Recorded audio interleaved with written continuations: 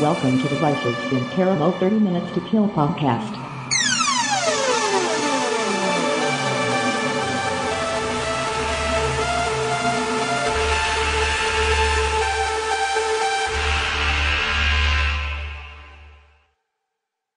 You are listening to the Vicis Interimo Show, 30 Minutes to Kill, more or less.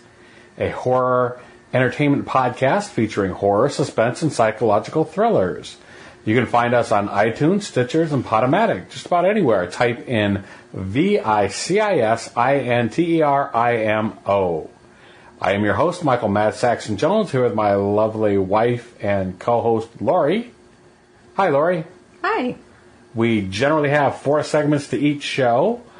A laid to rest where we recap anything from old shows or anything that we may have missed. We have a featured movie review.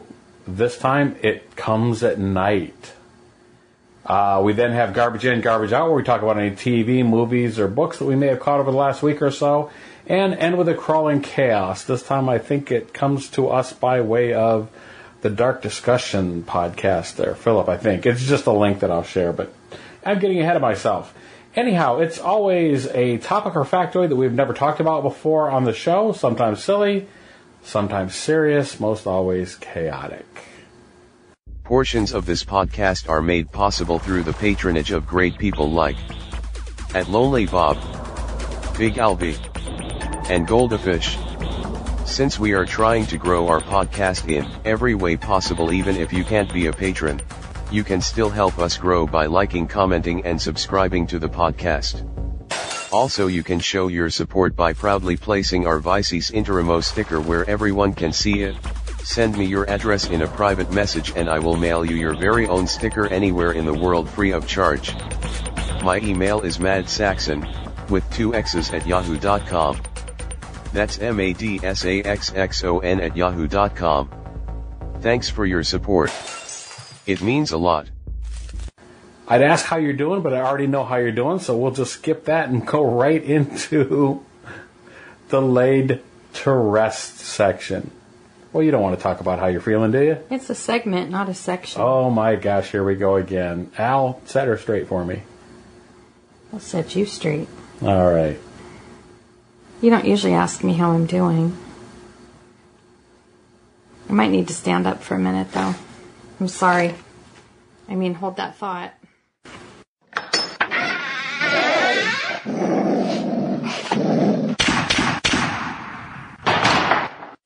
Ready? All right. So for laid to rest, I uh, was asking. I'm asking. do you? Ah, yes. Anyhow, um, so I was asking if you had anything to tie up from last episode. Last episode being All Hallows Eve. yes, that we recorded while we were on vacation of sorts. Right, right. More of a long weekend than anything else, but uh, Yeah. Yeah. I, yeah. Wow, it's all a fuzzy blur now. is it now? yeah, I couldn't remember what movie we talked about. Okay, well, what I was going to say Uh, yes. was that, uh, you know, Halloween doesn't have to end, at least not for our patrons, anyhow. Uh, I put up a video for them to enjoy our haunted train ride. Oh boy. I'm sure they're going to enjoy it. No, I'm not. but, Oh. uh, anyhow, okay, anyhow, what, what did you have on a more serious note? Um, I guess I guess I don't have anything to add or amend. Okay, I think I still like it just as well as I did. okay, and I, I thought you had found some notes or whatever, but there was some confusion with what was written out, No. and so well, we'll move on then at this point. I couldn't find my notes for this week's movie, and I had to go dig through the recycle bin, which was a thrill and a half. But I found them all crumpled up with a big bite taken out of them. I'm not sure what's up with that. I don't know. It At got torn. At any and- rate, let's maybe just get into the movie then, because nobody cares about this stuff. I guess not. All right. Uh,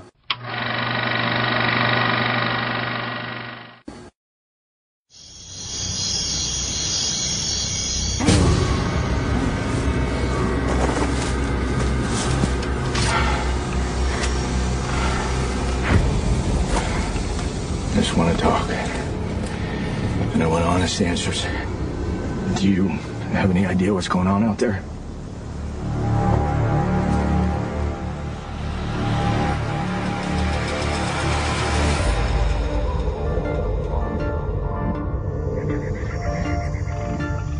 I'm gonna try and help your new family.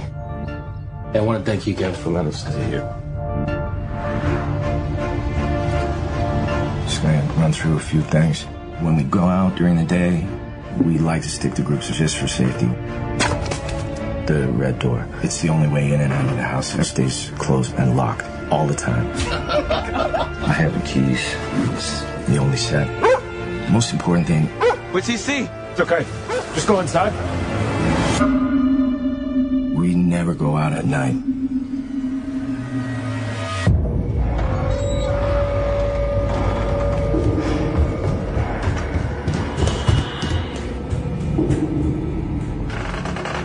The door was already open when you got there. Yeah. Then who opened it?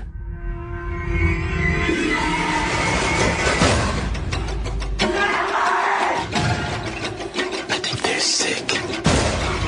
Put your mask on. Nobody's sick here. Can't trust anyone but family. You don't get it. How old are you, Travis?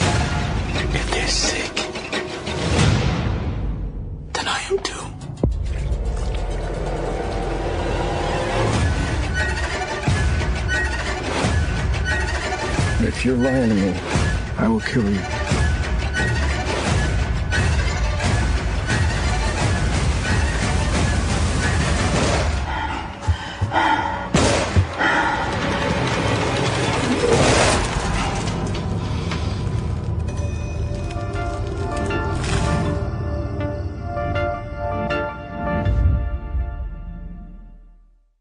We'll uh, have you read the synopsis.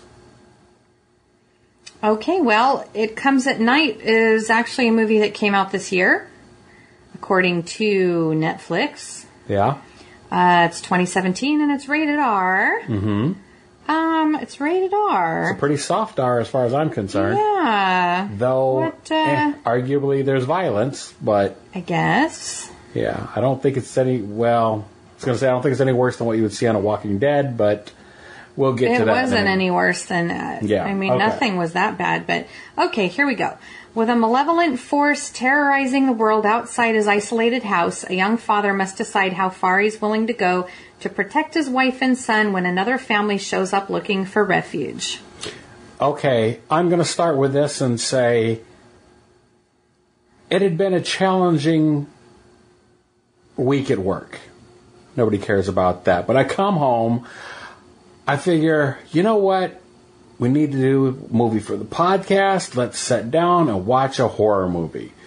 We're going to throw on It Comes at Night, and I'm just going to sit back and relax and lose myself in, I don't know, maybe some supernatural horror, maybe some hack and slash, some some gore, some TNA, and uh, no, absolutely not. This movie is the exact opposite of relaxing. In fact, Okay. I think I liked it better than you did from a couple of things you said just a few minutes ago when we were watching the trailer, but not necessarily. Anyhow, That's weird. I don't think I said anything that you made- said a thing, a couple of things that, that I disagree with you strongly on, but I didn't have any criticisms though. not criticisms per se, but there were still some. Eh, whatever. We're getting ahead of ourselves. Uh, Okay. My point with this is Because I liked it a lot. okay. I liked it even more than that. Okay. Okay, it. How do you know? Are you in my brain? just- yes, I am. All right. All right. So anyhow, it took. Well, I'd likened or mentioned uh, a day in the Walking Dead. One of my first notes here is um, this takes everything in you would see in the Walking Dead and ratchets up about to eleven and makes it even more realistic Okay. in my opinion, the way it deals with fear and panic and the unknown and so on. Walking Dead, you know you've got zombies coming at you. You kind of know, despite not knowing why, you, you know what the threat is and so on. This takes fear and paranoia and the, well, I was going to arguably say the reality of protecting yourself or your loved ones to like a whole different level. And other people would argue this is not a horror movie. Right. Anyhow, go ahead and say what you had to say about it, if anything, Uh, specifically.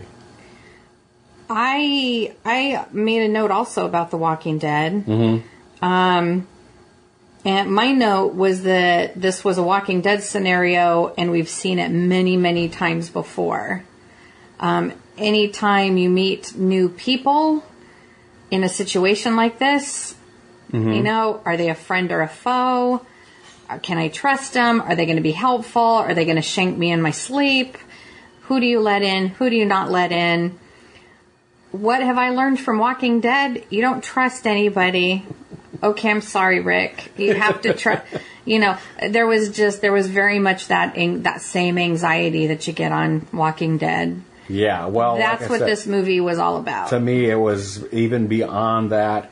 Um, yeah, that's interesting because boy, there's been some stressful things in Walking Dead. Yeah, I this movie Well, this- really got to me for a number of reasons. I think Okay. also because I didn't know what to expect with it. Well, and do you want to you want to before we continue? Don't forget what you're saying. All right. Um, let's start by saying because we've already kind of said what the movie is about. That's what it's about.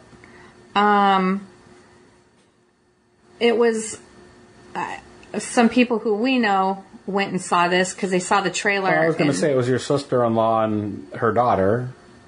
My sister-in-law, not your sister-in-law. Sorry. Anyhow. I wasn't going to name names. Okay. Um, she was someone's sister-in-law. I don't know. Uh, but yes, some family members saw the trailer and thought it, you know, they were like, oh, let's go see this scary horror movie.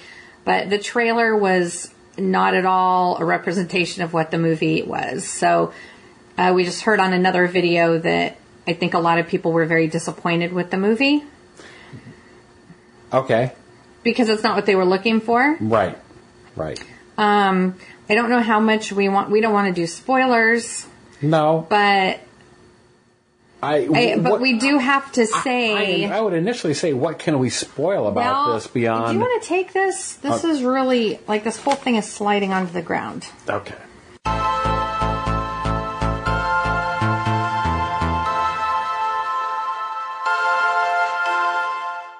Well, yeah. I mean, I guess the spoiler is it's not a horror movie in that sense. You're not going to see what comes at night. You're not. You might. Well, you may. You might not. You may choose to. you Um, may choose to figure out whether you've seen it or not. Well, so we watched the commentary afterwards. We watched what the director, uh, writer had to say about it, and that he things were deliberately left ambiguous, Right. And in the hopes that you would get more out of it on multiple viewings. Right. I'm not sure if I would go for multiple viewings of this, Mm, but for me, it worked as a horror movie because it was very upsetting to me. Yeah. Well, it's he, um, the writer director. He said it was about human nature Mm-hmm. and dynamics. You know, Right. relationships. Right. That's what it's about. Yeah. You're not going to see monsters. You're not going to see, um, you know, infected people going nuts. You're not going to see all of that. It's about family. It's about getting along um, in a stressful situation where your future is kind of Uncertain. uncertain At best. Yeah. yeah. I one of my notes here says living off the grid for even 12 hours sucks. Yeah. And living off the grid, uh, it's kind of a joke in the fact that we just we lost electricity recently. Oh. For for 12 hours we didn't have electricity, and that was really inconvenient. So I mean, we take a lot of things for for granted. Wow. But- that makes us sound like wusses. I didn't say I wasn't going to live through it, but you know what I mean. Oh, It just it sucked and it was inconvenient. So imagining a world where you had to provide for yourself, most people couldn't do it. Right. the the population. I mean, if a really bad disaster hit, it's not the the disaster necessarily that's going to take people out. It's everything else with them not being able to cope with the aftermath of it. Well, they were definitely in the right place because they were out in the country. Right. And when you and I lived out in the country, I was confident that we would be fine